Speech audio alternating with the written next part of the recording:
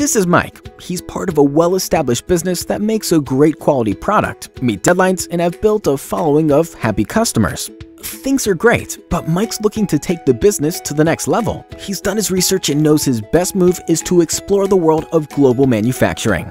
Mike understands the advantages of having lower overheads, increased profit margins, and expanded production capabilities. He's ready to go global.